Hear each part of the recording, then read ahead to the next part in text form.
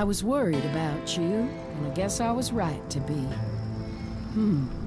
Sheriff Ross had been looking for something behind the river near the cave. Maybe he found Wild Jack's hideout.